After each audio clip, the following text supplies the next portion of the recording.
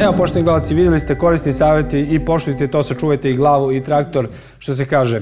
Ali, e, pre nego što porazgovaramo o nekim drugim temama, sa nama ovdje u studiju gost, zaštitar, dobro poznati Dejan Reljin i pričamo o ovoj čudnoj godini gospodine Reljin koja nas je snašla, a radi se o tome, s jedne strane, javljene poljoprivrednici preko naših grupa na Facebooku i ostalo, a to je da po prvi put pipa, toliko je čudna godina, da insekti napadaju, pipa napada kukuruz. Nikad se to pre nije dešavalo. Makar niko se ne sjeća specijalno, ljudi su snašli u čudu.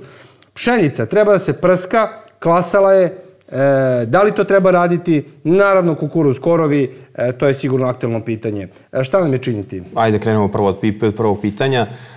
nije to toliko čudno iz prostog razloga što kada pomenemo pipu, svi misle na repinu pipu. Tako je. Ali to nije ta pipa.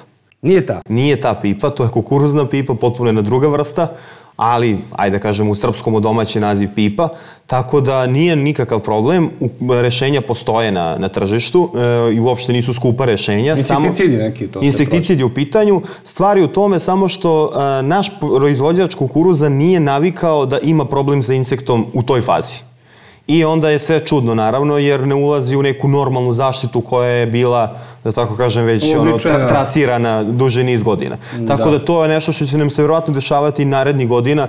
Neke stvari, kao što se recimo e, prvi put posle više od 20-30 godina javila plamenjača kukuruza pre dve godine. Plamenjača kukuruza? Plamenjača, niko ni ne zna da to postoji.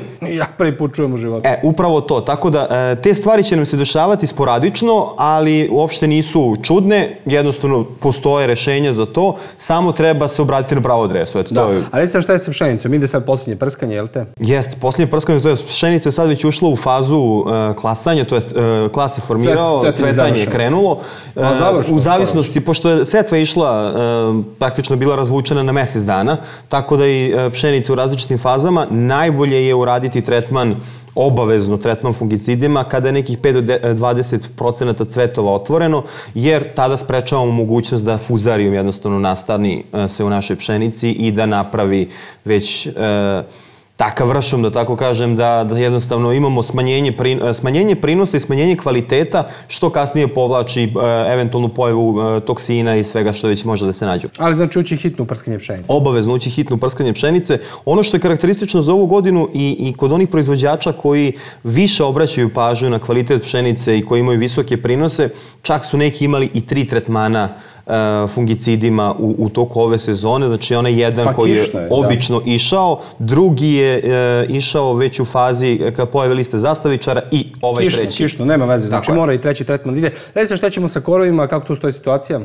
korovi, e, uvek problem, naravno, i ovo je ono što im odgovara ovakvi vremenski uslovi. Iz prostog razloga imamo i toplo, toplo vreme sa e, padavinama i naročito sirku to odgovara. Karakteristično za ovu sezonu je da se rizonski sirak javio dosta dosta ranije nego što to obično. Obično se javlja negde otprilike posle 15. maja, sad je već uh, negde 20. Februar, 20. aprila se javio, tako da možemo uh, u jednom prohodu rešiti uh, sirak i semenski i rizomski, što zapravo olakšava situaciju za ovu godinu, tako da nema nikakvih problema s te strane. Da, lepo vi to zvučite ovako optimistični, sve, sve nema problema, nema problema. Ovamo pipa koja se nikad pre nije javljala, plamenjača koja se nikad pre nije javljala, tri prskenja pšenice, rizomski sirak koji je krenuo nikad nikad ranije, tako da Reš, lepo je. Rešenja postoje ali za sve rešenja postoje, naravno, struka, struka je tu da kaže. Vidjet ćemo kasnije, imamo taj deo emisije da se bavimo samo o rešenjima tih problema. Vama hvala na ovim korisnim informacijama i ovim objašnjenjima za sve, dakle, naše ratare. Jeste čudno, ali možda se reši. A sada pričamo o drugačijim stvarima. E, znamo da postoji jedan region koji je baš, baš ratarski, kad smo kod tih tema. Bačka. Ko bi očekivao u Bačku i tako da bukne prosto malina i malinarstvo? Neverovatno. Da li ovi momci iz zapadne Srbije treba se zabrinu da će im ovi uzeti e, leba koji su proizvodili leba u Bačkoj, jer je Bačka naravno najpoznatija po pšenici. Idemo baš to da vidimo ljude koji sa pšenici kukuruza prelaze na maline.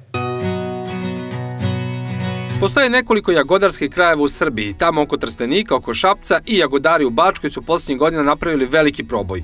Jedan od tih ljudi je Stanislav Damjanović Tovariš,